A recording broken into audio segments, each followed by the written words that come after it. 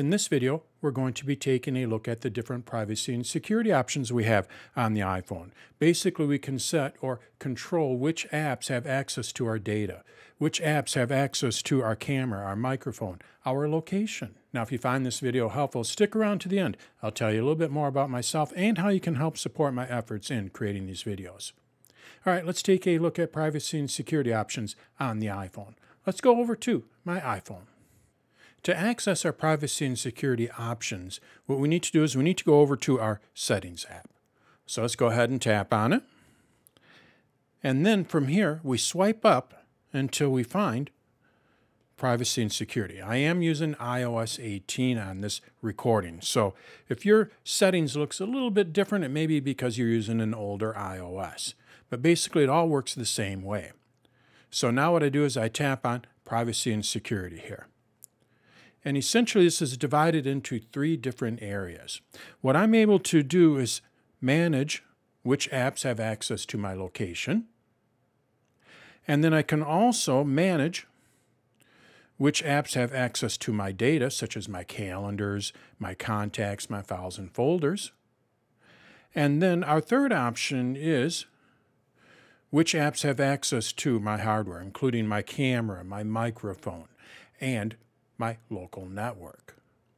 So let's take a look at these three different options here. So the first thing that we're going to do is we're going to go up to the top and we're going to take a look at location services first, how we can manage which apps have access to our location. So now what I do is I tap on location services. And then from here, what I'm able to do is set if I want any of my apps to access my location. When I turn this off, none of the apps on my iPhone are going to be able to access my location.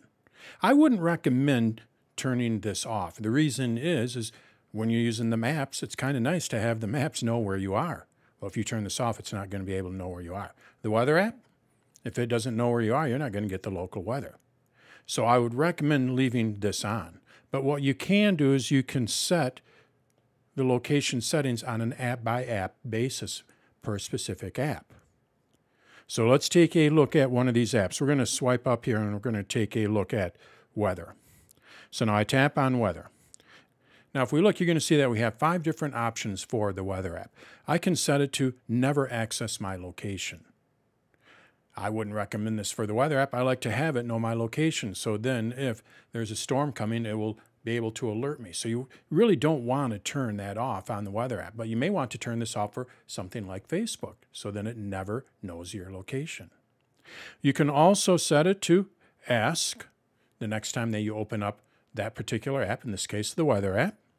You can also set it to while using the app. This is probably the most common. When you're using the app, it'll know your location, but if it's in the background, it will not know your location. It won't access your location. And then we also have, while using the app or using any of its widgets, so if you're using the weather widget, you want to make sure that at least that is turned on. And then our last one here, which isn't available on all of the apps, I'll show you that shortly. Our last one here is always. I like to have my weather app always access my location, so I leave this on. So even if it's running in the background, it knows my location. So if a storm is coming, it'll alert me because it knows my location, even though it's not in the foreground, it's in the background. So we're able to set this up on an app by app basis. Our last option here is precise location. If you don't want an app to know your precise location, you can do that as well. So when I turn this off, the weather app will still know my location, my basic location, but it's not going to be real precise. So maybe you want to turn that on for some of the apps. Maybe you do like to use it for social networking, the location for Facebook? Well, what you can do is you can tell it to not use precise. Just turn that off for Facebook. All right, so let's take a look at another one. We're going to go over to, I'm going to swipe down here. We're going to go over to camera. You're going to see that it says while using. Basically, the only time that the camera app is going to know my location is while I'm using it. There's no reason for this app to know my, my location when it's in the background.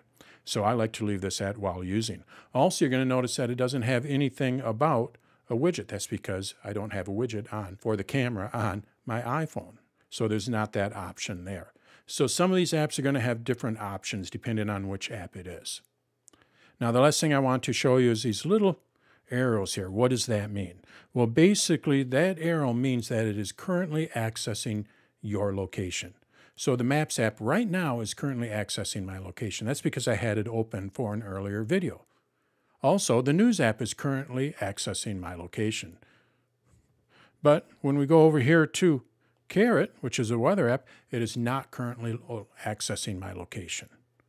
So then if I open up the Carrot app, what I would get is I would get that little arrow there. So that's what that little arrow means. It's currently accessing your location.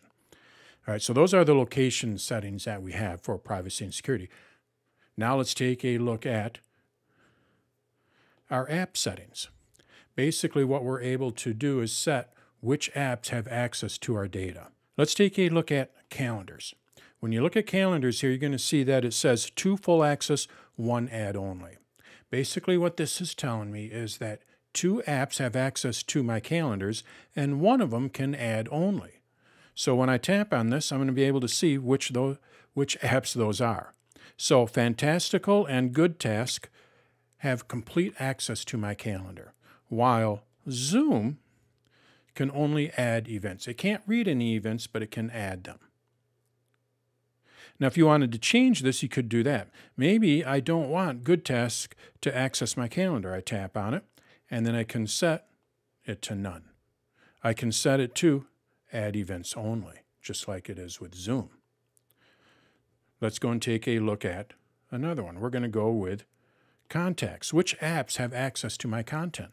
Contacts. So I tap on it, and now you're going to see that I have these apps here that have access full access to my contacts. Well, if I don't want them to, let's go with Zoom. I don't want Zoom here to have access to my contacts, full access. I can tap on it, and then I can set limited access. I would select which contacts it has access to, or what I can do is I can set it to none. So that's how we can set which apps have access to our data. And we have calendars, contacts, files and folders. We also have Focus, Health, HomeKit, Media and Apple Music, our passkeys access for web browsers, as well as photos, reminders, and wallet. We can set up which apps have access to all of that data. Our last option here is for hardware on the iPhone. So these are the apps that have access to Bluetooth as an example. I have three apps that have access to that. I tap on it, I can see those three apps and I'm able to turn them on and off. Or maybe I want to see which apps have access to my microphone. I want to make sure that Facebook or Instagram doesn't have access to my microphone. I don't want them listening to me. Well, what I'm able to do is tap on that. And if Facebook or Instagram were installed on my iPhone, I'd be able to turn that off. You're going to see that Zoom does not have access to my microphone, but Bing and Sonos do.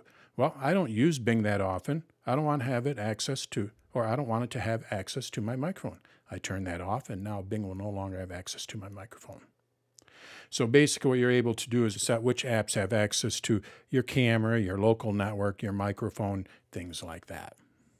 So those are the different privacy and security options we have on the iPhone.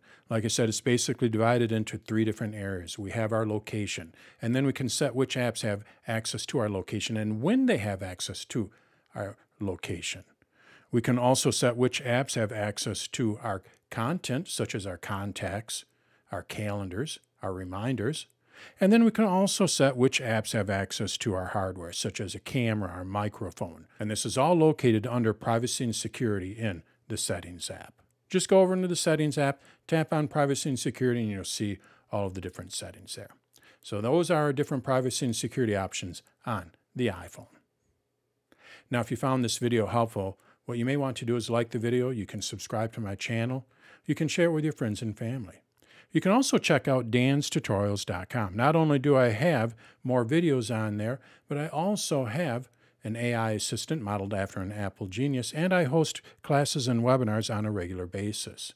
So how can you help support my efforts? It is a membership-based site. When you become a member, I take out all of the ads from the video, so you're not going to see any of those ads. You have access to my AI assistant, which is modeled after an Apple Genius. And then you also have access to my classes and webinars. Also, you are helping support a small business. It is just me in a corner office of my house. I'm not part of some large organization. So when you become a member, you are directly supporting my efforts in creating these videos. Check out danstutorials.com for more information, and thanks for watching.